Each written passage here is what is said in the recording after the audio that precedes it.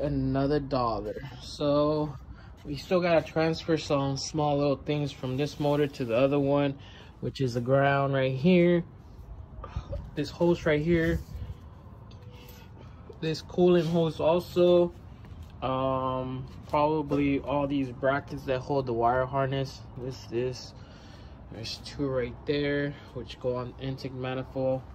Um, and then where the shifting cables connect or are being held. So this bracket right here, we're gonna take this one also, also with this one, cause this bolt goes right there on the wire harness. Um, so, and probably all these brackets for the engine mounts and transmissions. Um, and also that right there uh, the support for the axle. So yeah, that's what I'm gonna do real quick.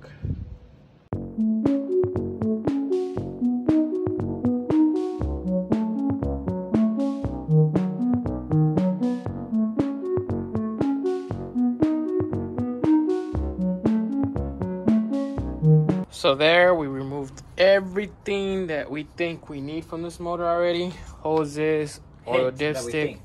Yeah, hint. Uh, now let's put it on the 2ZZ. Connect this wire harness. We'll mess with the wire harness last. Time to put on all the stuff on the 2ZZ. Mark is doing the oil, stick. oil dipstick. Uh, we got injectors. We got pulleys. We got little clips for the harness. We do have to block out this one right here, the small one. Um, and yeah, uh, start putting all the brackets on the transmission on the 660 also, um, which Mark should have them down there somewhere. Yeah, I put all the brackets on And there. the hoses also, those, and then wire harness. Yee, fun.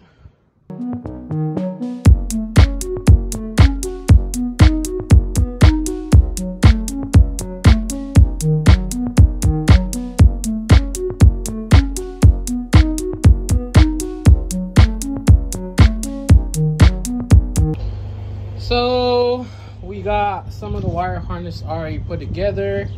Um, this doesn't line up, so we got to get it from the 2ZZ. Um, right now, I'm going to put the alternator and the pulley for the power steering where the power steering is supposed to be. Mark's going to get the wire harness that we need um, because we're not going to use that one. He has a separate one outside that we, sorry, um, out and about. Um, so, yeah, we're to do that. Hook up the rest of the wire harness on this side then on that side. And injectors already on here with the fuel rail from the 2ZZ um that's about it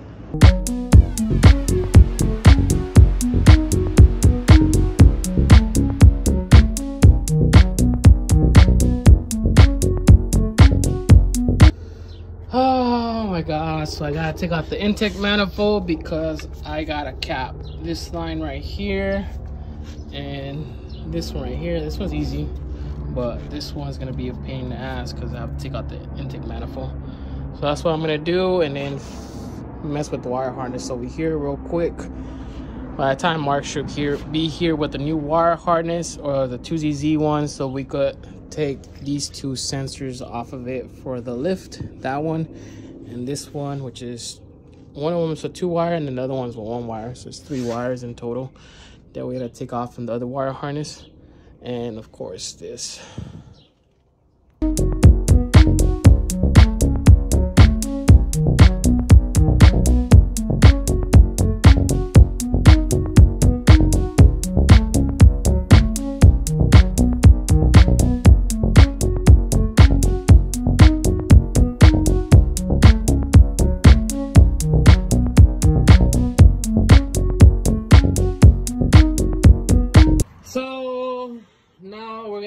swap out the pins. We need to switch the polarity on this. Um, when you plug it in, is these bottom two, which is gonna be that blue with red and that brown. So just the bottom two, just in case the colors are not the same. Um, and when you plug it in, is these two bottom ones right there. The one in the bottom and the one in the middle. Um, so Whoever's watching this video, you're welcome. You're welcome because nowhere you look, they don't show you this shit. yeah. We Uh, spent hours to find this out. The reason being is because the throttle position sense uh, throttle body on this one is opposite. So you got that's why you got to reverse the polarity. Um, also on the MRS, you do have to reroute the throttle positions uh, wire because it actually comes this way, and now you want it to come this way. So yeah. I'll show you guys that when we get up there. Um, just trying to finish Pull up this this right now. Easy. That's easy. That's the easy part. Uh, removing the pins. Pretty sure you can find it online.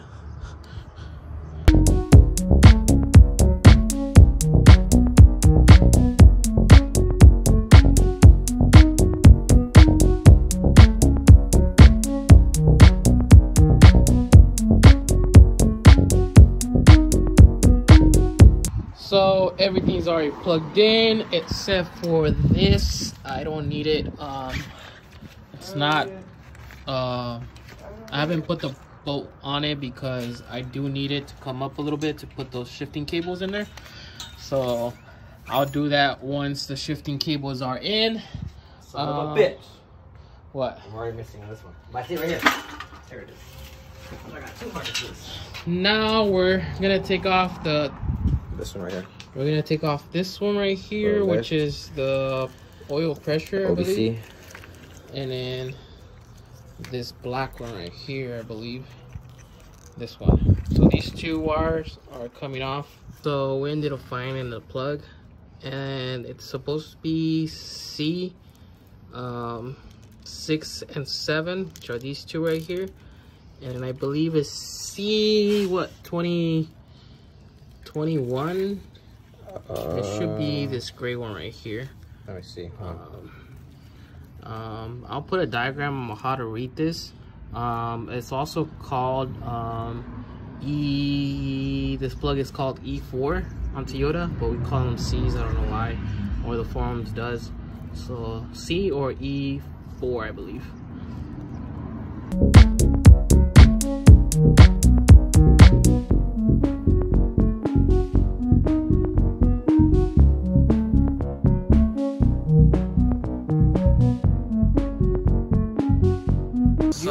Pendejo. after a couple of minutes, we already have the wires already out. We and they're just still not long enough. don't think so. Really, bro? They're gonna go on this side of the car and go all the way inside to the ECU. Ah, whatever. There's a reason why MWR's kit is fucking like 60 inches long, not two feet. 16 inches. 60. 60. 60. All right, so I just gotta unpin it from here. Um, so that's what I'm gonna do and mark it up. Um, which one is which one? And that way it doesn't get confusing when we put it on. How hard can it be? Yeah, but you still gotta unpin a lot of wires over there, move wires around, put this pin over there.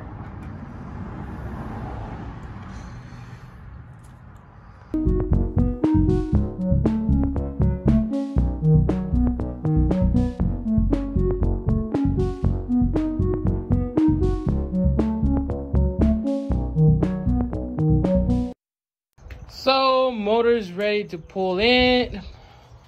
Uh, Mark is doing the last touches on that wire harness that we just did. I mean, you could just like fucking run it, like tape it, but I prefer to go professional run, actually tuck it in the stock loom, so makes it look a little neater. So we added this sensor for this plug and that plug over here. Um, For the oil pressure and for the OVC of the lift. Yeah, so lift. Later on, we're gonna start pinning it down, which that's gonna be fun too. The fun part begins right now. As long as we drop this motor tonight, I'm happy. No, we're doing all tonight. Watch, guys, watch. No, I don't want to do it. There's no light.